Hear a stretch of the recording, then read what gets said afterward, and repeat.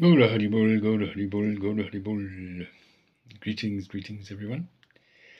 So today I just want to talk about uh, one offense to the holy name. As we know, there are 10 offenses to the holy name when we chant the holy name. One of them is chanting without attention. So I started to think, why, why is it an offense not to chant uh, with attention?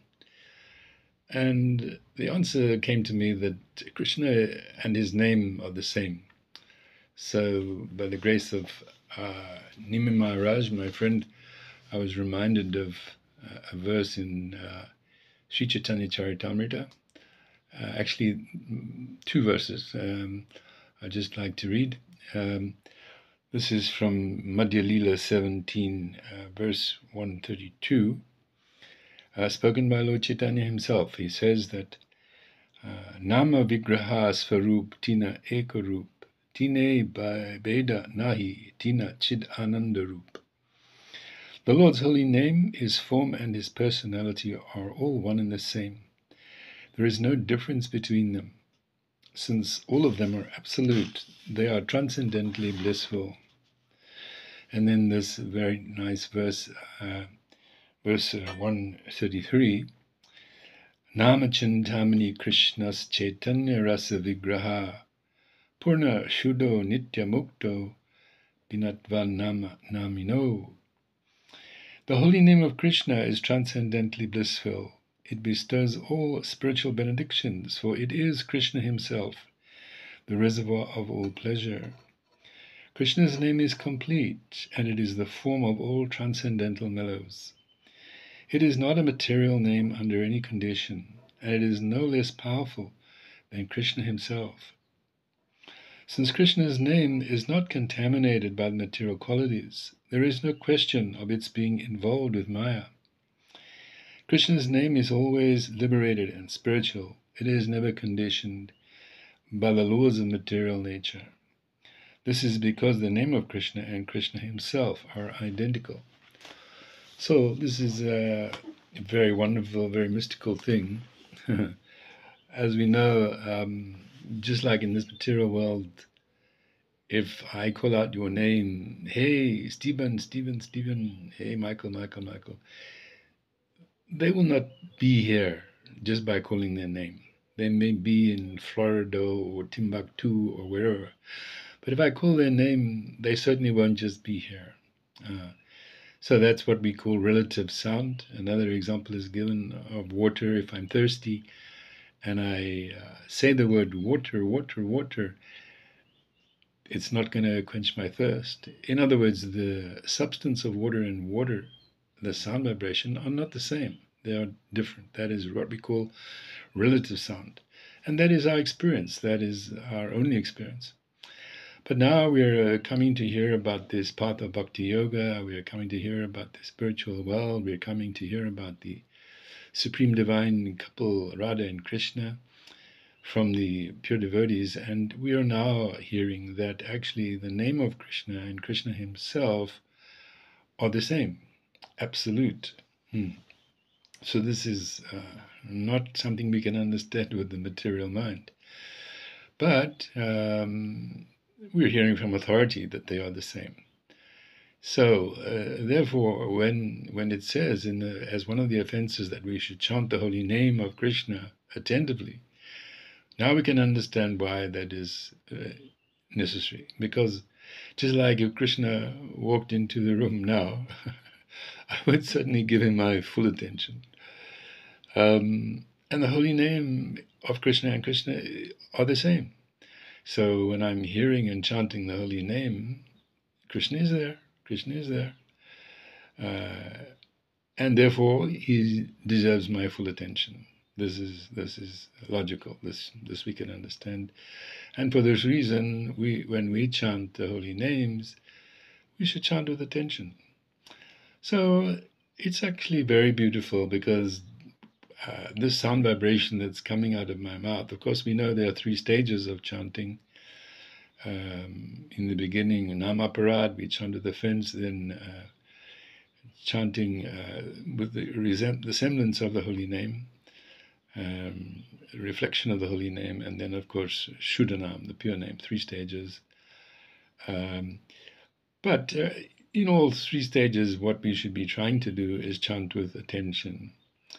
Um, so it, it's beautiful because I, I, I, Krishna has kindly given me this um, tongue and given me these ears, so I, I, can I can say Hare Krishna, Hare Krishna, Krishna Krishna, Hare Hare, Hare Rama, Hare Rama, Rama Rama, Hare Hare. I can say it no impediment. Um, I don't have to pay anything to say it. I can say it any place, any time. I can say it on my own. I don't have to be with others necessarily, although it's nice to chant together. And then I've given me these ears, you know, I can hear. So there it is. I can say Hare Krishna and just listen. Just listen to that sound that's coming out of my mouth. Uh, that is chanting attentively. And it's very nice because, uh, of course, when you do that, your attention is not going elsewhere. Ideally, in other words, the more full attention you give to that, hearing that sound, uh, the more we're actually giving our attention to Krishna. And in this way, we begin to experience the, the peace and the, the sweetness, the beauty of Krishna and, and being with Him. Uh, because of chanting the holy name means that I'm being with Krishna, I'm in the presence of Krishna. Of course, that will depend, as my Guruji said, on the degree of surrender of one's heart, the extent to which will actually experience that Krishna and his name are not different. So this is one this is now a good understanding of why we should chant attentively and how to chant attentively.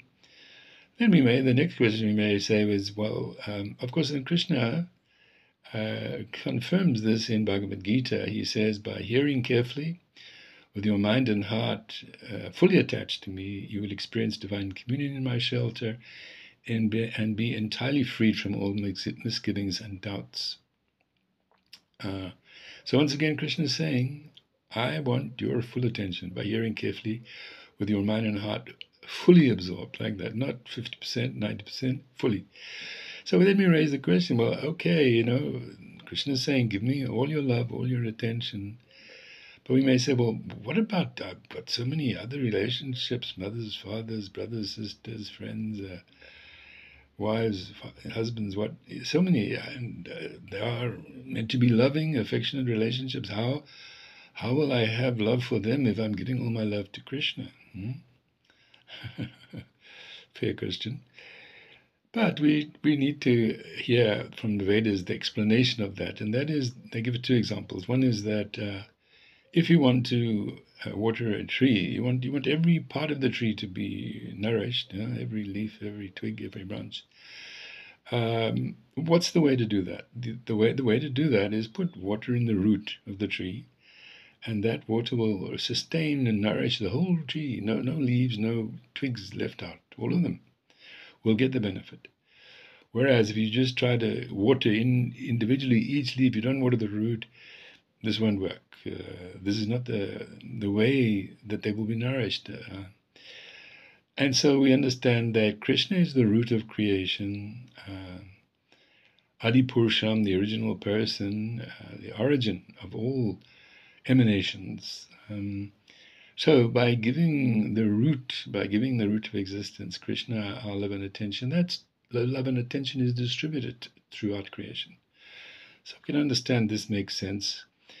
Uh, another uh, example is given as just like the, the, the body, it has different elements, different parts. Um, and just like if we want to, uh, how can you say, get some nice food, hmm, um, what is the function? The function of the hand is to put food in the mouth, hmm? and then the food is nourished, and it goes to the nourishment goes through all parts of the body.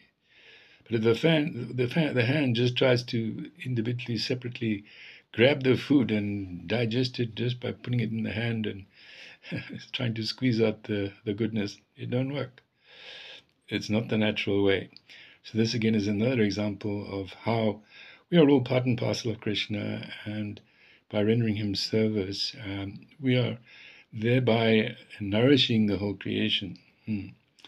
So this is another reason why we can understand that it is appropriate for us to give our full love, our full attention uh, to Sri Krishna. Uh, and in this way, we benefit the whole creation, the whole creation. Just like they say that um, uh, anyone who loves God will automatically love all God's creatures. This is the test. Yeah? If he really loves God, he'll love all God's creatures. And he, a pure devotee, he knows the process for loving God, and that is full surrender, full surrender, uh, Atmanivedanam, complete surrender. It's not only in the Vedic scriptures, Lord Jesus Christ, the same thing that the, the first principle, the first law is that one should love the Lord thy God with thy whole heart, thy whole mind, thy whole soul, like that. So it's confirmed again. So uh, now that we know the the process, we just need to apply it and keep keep on going down the road of devotion. Um, by the grace of Sri Guru and Gauranga. Haribol, Haribol, Haribol.